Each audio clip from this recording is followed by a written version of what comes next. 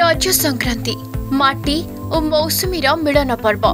ପୂର୍ଣ୍ଣ ଯୌବନର ଦୀପ୍ତି ନେଇ ଧରିତ୍ରୀକୁ ଛୁଇଁଛି ରଜ।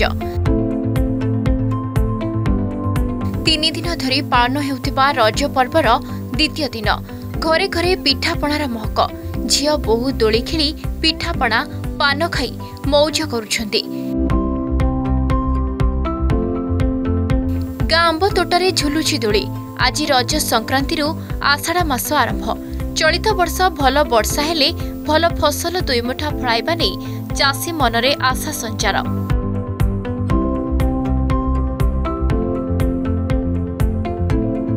ଆଜି ରଜ ସଂକ୍ରାନ୍ତି ପାଳନ କରୁଛନ୍ତି ରାଜଧାନୀବାସୀ। ଝିଅମାନେ ନୂଆ ପୋଷାକ ପିନ୍ଧି ସଜବାଜ ହୋଇ ପିଠାପଣା ଖାଇ ଦୋଳି ଖେଳରେ ବ୍ୟସ୍ତ। ଭୁବନେଶ୍ୱର ଉପକଣ୍ଠ କଲ୍ୟାଣପୁର ଗାଁରେ ରଜ ସଂକ୍ରାନ୍ତିରେ ମାହୋଲ ଟିକେ ନିଆରା। ତିନିଶହରୁ ଅଧିକ ଦୋଳି ସାଙ୍ଗକୁ ବିଭିନ୍ନ ପ୍ରତିଯୋଗିତାର ଆୟୋଜନ ହୋଇଛି। ପଟା ଦୋଳି ଖେଳୁଥେଲି ବାପା ଡାକିଦେଲେ ଦୋଷ ଦାବନି ବଉଳ ଲୋ ଆସଗୋ ବଉଳେ ଯିବା ଯାଇ ଜୁଇ ଫୁଲ ତୋଳି ଆଣିବା। ଭଦ୍ରକ ଜିଲ୍ଲା ବାସୁଦେବପୁରରେ ନିଆରା ଢଙ୍ଗରେ ପାଳନ ହେଉଛି ରଜ ପର୍ବ। ଗତ ଦୁଇ ବର୍ଷ ଧରି ବାସୁଦେବପୁର ପୌରପାଳିକା ତରଫରୁ ରଜ ଉତ୍ସବର ଆୟୋଜନ କରାଯାଉଛି। ଯେଉଁଠିକୁ ସ୍ଥାନୀୟ ଲୋକେ ଆସି ରଜ ପର୍ବର ଆନନ୍ଦ ନେଇଥାନ୍ତି। ଏଠି ମହିଳାମାନଙ୍କୁ ନେଇ ବିଭିନ୍ନ ପ୍ରତିଯୋଗିତା ମଧ୍ୟ ଆୟୋଜନ କରାଯାଇଛି। ପିପିଲିରେ ଟେଣ୍ଟ ହାଉସ୍ ବାଉଁଶରେ ତିଆରି ହେଲା ଦୋଳି। ଗାଁ ରାସ୍ତାରେ ଯାଉଥିବା ଲୋକଙ୍କୁ ପିଠା ଓ ରଜପାନ ଦେଇ ଆନନ୍ଦରେ ରଜ ପାଳିଛନ୍ତି ଝିଅମାନେ। କଟକ ଜିଲ୍ଲା ସାଲେପୁର ବ୍ଲକର ବିଭିନ୍ନ ପଞ୍ଚାୟତରେ ରଜ ଖେଳରେ ରାମଦୋଳି ଡଙ୍ଗାଦୋଳି ଚେୟାର ଦୋଳି ଲାଗିଛି ଯେଉଁଠି ଝିଅ ବୋହୂଙ୍କ ଭିଡ଼ ଜମୁଛି। କୁଆଁରୀମାନେ ରଜ ଦୋଳି ପୁଚି ଖେଳୁଛନ୍ତି। ବାଗୁଡ଼ି ପ୍ରତିଯୋଗିତା ବି ଅନୁଷ୍ଠିତ ହୋଇଛି। ବାଙ୍କି ଅଞ୍ଚଳରେ ବି ବେଶ୍ ଧୁମ୍ଧାମ୍ରେ ରଜ ସଂକ୍ରାନ୍ତି ପାଳିତ ହୋଇଛି। ହାତରେ ମେହେନ୍ଦି ଲଗାଇ ପୋଡ଼ପିଠା ଖାଇ ଦୋଳି ଖେଳର ମଜା ଉଠାଇଛନ୍ତି ଝିଅମାନେ। ରଜ ସଂକ୍ରାନ୍ତି ରଜର ସେକେଣ୍ଡ ଡେ ଆଣ୍ଡ ଆଜି ଆମେ ବହୁତ ହି ଭଲସେ ଏନ୍ଜୟ କରୁଛୁ। ପୋଡ଼ପିଠା ପାନ ଖାଇକି ଆମ ଘର ଲୋକଙ୍କ ପାଇଁ ଦୋଳି କରିଛନ୍ତି। ଆମେ ଝୁଲିକି ବହୁତ ହି ଏନ୍ଜୟ କରୁଛୁ। ମା ବାଲି ହଚଣ୍ଡୀଙ୍କ ପାଖରେ ରଜ ପର୍ବର ସ୍ୱତନ୍ତ୍ରତା ବହନ କରେ। ଏଠିକାର ଛାପା ପରମ୍ପରା ନିଆରା।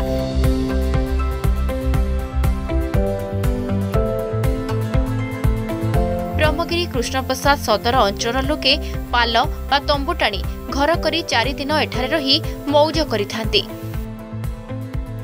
ରଜରେ ଏସବୁ ଚାଷୀମାନଙ୍କର ଏକାଠି ହେବାର ଗୋଟେ ମାଧ୍ୟମ ଆଉ ବହୁତ ଦିନରୁ ହଜାର ହଜାର ବର୍ଷରୁ ତ ଚାଷୀମାନେ ଏକାଠି ହେଇକି ମାଆଙ୍କ ପାଖକୁ ଆସିକି ଛାପା ପାକ- ପକେଇକି ମସ୍ତି କରନ୍ତି ସମୟ କଟାନ୍ତି।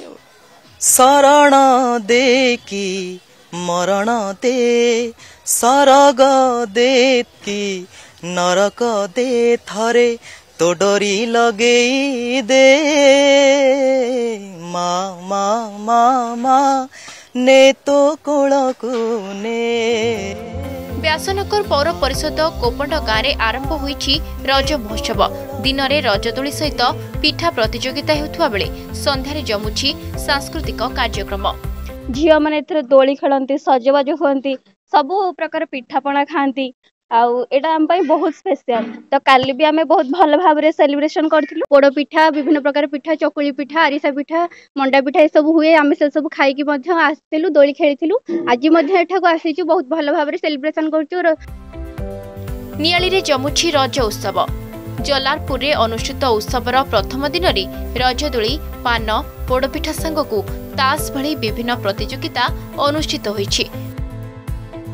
Bureau report Argus news